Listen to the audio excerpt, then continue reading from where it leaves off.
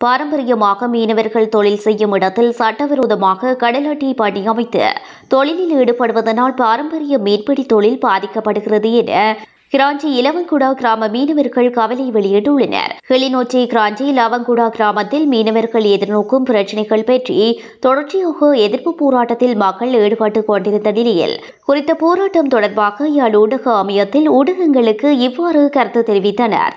மேலும் தெரிவிக்கையில் நாங்கள் வந்து இன்றைக்கு இலவங்குடா கிராஞ்சி பகுதியில் வந்து கடந்த முப்பது ஒன்பது இரண்டாயிரத்தி இருபத்தி ரெண்டில் இருந்து இரண்டு நாட்களாக உண்ணாவிரத போராட்டத்தில் வந்து ஈடுபட்டு மெசிடோ நிறுவனம் வந்து எங்களுக்கு ஆதரவு வழங்கிய காரணத்தினால் வந்து அந்த உண்ணாவிரத போராட்டத்தை வந்து கவன ஈர்ப்பு போராட்டமாக இன்று பதினைஞ்சாவது நாளாக வந்து நாங்கள் தொடர்ந்து மேற்கொண்டு வரோம்.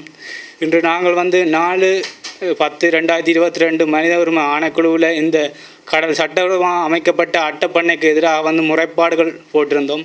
இந்த முறைப்பாட்டுக்கான விசாரணை வந்து இன்று வந்து நடைபெற்றது. இன்று மனித உரிமை ஆணைக்குழு நடைபெற்ற வந்து விசாரணையின் போது வந்து நீரியல் வளத்துறை அதிகாரி அதாவது ஏடி அசிஸ்டன்ட் டைரக்டர் வந்து வந்திருந்தார் அவர் கூறியிருந்தார் வந்து தான் வந்து கடலை மட்டும்தான் அளக்கிறன்.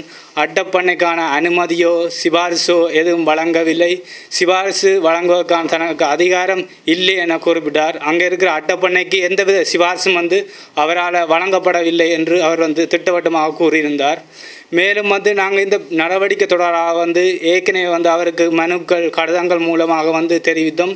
இது தொடர்பாக வந்து எந்த அதிகாரிகளும் வந்து எந்த நடவடிக்கையோ எங்களுக்கு சார்பான எந்த தீர்வையோ வந்து இதுவரை வந்து பெற்றுத்தரவில்லை குறிப்பாக எங்கள் கிராம சேவையாளர் கூட நாங்கள் தொடர்ந்து இன்று பதினைந்து நாளாக இருக்கிறோம். கிராம கிராஞ்சி கிராம சேவையாளர் கூட இதுவரை வந்து அவ்விடத்தில் வந்து எங்களுக்கு என்ன பிரச்சனை என்னத்துக்கு நீங்கள் இருக்கிறீங்கன்னு வந்து இதுவரை கேட்கல. மற்றது வந்து இந்த கடலில் வந்து அடிக்கப்படுற அதிகூடிய லைட் இன்றைக்கு வந்து லைட் வந்து தடைன்னு சொல்கிறான் கடலில் லைட் அடிக்கலான்னு சொல்கிறாங்க ஆனால் அட்டைப்பண்ணைகளில் வந்து அடிக்கப்பட அடிகூடிய லைட்டால் வந்து மீன் இனங்களே வந்து கரையை நோக்கி வாரத்துக்கு பயப்படுது. அங்கே அடிக்கப்படுற லைட்டின் சுடர்கள் வந்து ஊருக்குள் ஊருக்கு வந்து தெரியுது. அது இந்த சுடர் பவர் வந்து ஊருக்குள்ளே தெரியுது. அவ்வாறான பவர்ஃபுல் லைட்டுகள் அடிக்கப்படுது. இதை தடை செய்வதற்கு வந்து தகுதி வாய்ந்த அதிகாரிகள் வந்து நடவடிக்கை எடுக்கணும். மற்ற வந்து சட்டவிரோதமாக வந்து ஓடுபாதை துறைமுகத்துக்குரிய பகுதியை வந்து விட்டு கொடுக்கும். சுமார் வந்து துறைமுகத்தை சுற்றி வந்து ஐநூறு மீட்டருக்கு இடைவெளி இருக்கும். இது வந்து மிகவும் ஒரு பத்து மீட்டர் இடைவெளியில் வந்து துறைமுகத்துக்கு உள்ளே வந்து அட்டப்பண்ணைகள் வந்து அமைக்கப்பட்டிருக்கு.